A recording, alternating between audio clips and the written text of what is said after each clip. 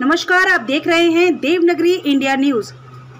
सिरोही के पॉक्सो विशेष कोर्ट के विशेष जज अनूप कुमार पाठक ने नाबालिग से वीडियो कॉल के बाद गलत रूप से स्क्रीनशॉट लेकर शेयर करने के आरोपी को पाँच साल के कठोर कारावास की सजा सुनाई है। इसके साथ ही पचास हज़ार रूपए आर्थिक जुर्माने से भी दंडित किया है। विशेष कोर्ट के लोक अभियोजक प्रकाश धवल के अनुसार पालड़ी एम थाने में वर्ष 2021 में एक परिवार की तरफ़ से मामला दर्ज कराया गया।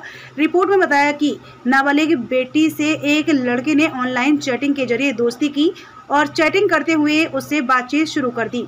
बातचीत के दौरान उसे विश्वास में लेने के बाद वीडियो कॉल करने लगा। यहाँ तक कि उसके नहाते हुए की वीडियो कॉल के दौरान स्क्रीनशॉट ले लिए। बाद में गलत बातों को लेकर लड़की को धमकी देने लगा। इस पर लड़की ने मोबाइल, इस पर लड़के ने उसकी फ़ोटो गलत तरीके से शेयर करनी शुरू कर बदनाम करने लगा। परिजनों की रिपोर्ट पर पुलिस ने मामला दर्ज कर आरोपी युवक को गिरफ़्तार कर चार्जशीट पेश की। कोर्ट के आदेश पर आरोपी को जेल भेज दिया। इस मामले में दोनों पक्षों की बहस के दौरान लोग अभियोजन की तरफ़ से सात गवाह और सत्रह दस्तावेज़ पेश किए गए, जबकि पुलिस ने जाँच में फ़ोटो वायरल होने की पूरी रिपोर्ट के साथ ही आरोपी की आईडी वगैरह सभी सबूत यहाँ तक कि जिस मोबाइल से वीडियो वायरल किए गए, उस मोबाइल को भी पुलिस ने जब्त कर कोर्ट में पेश किया।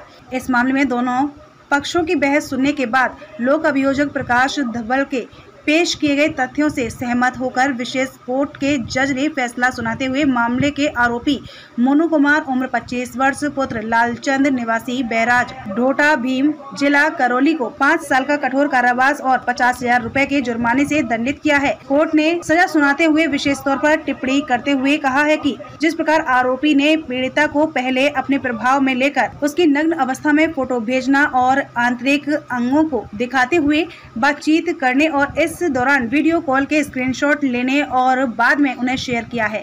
इससे न केवल नाबालिग पीड़िता को गंभीर मानसिक आघात पहुँचा है, बल्कि स्वाभाविक तौर पर उसने अत्यंत मानसिक वेदना और सामाजिक तिरस्कार भी सहन किया है। इससे निश्चित तौर पर पीड़िता को मानसिक रूप से संताप को आघात पहुँचा है, जिसे शायद वह कभी नहीं भूल पाएगी।